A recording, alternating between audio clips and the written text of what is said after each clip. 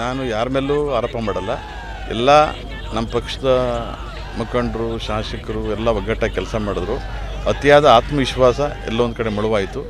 ಜೊತೆಗೆ ನಮ್ಮ B J P ಮತ್ತು ಕಾಂಗ್ರೆಸ್ಸು ಎರಡು ಕೊನೆ ಕ್ಷಣದ ಕೊನೆಯ ದಿನದಲ್ಲಿ ಅವರಿಬ್ಬರು ಒಂದಾಗಿ B J P vote Congress ಕಡೆ ವಾಲೋಂಗ್ ಮಾಡಿದ್ದು.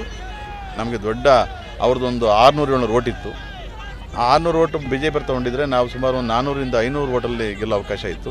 ಅವರಿಬ್ಬರು ಒಗ್ಗಟ್ಟಾದರು. ಆ ಒಗ್ಗಟ್ಟಾದ ಫಲ ಈ ಥರದ್ದು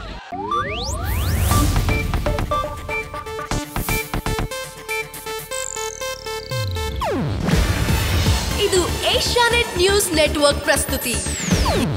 ನೀವು ನೋಡ್ತಿದ್ದೀರಾ ಏಷ್ಯಾ ನೆಟ್ ಸುವರ್ಣ ನ್ಯೂಸ್.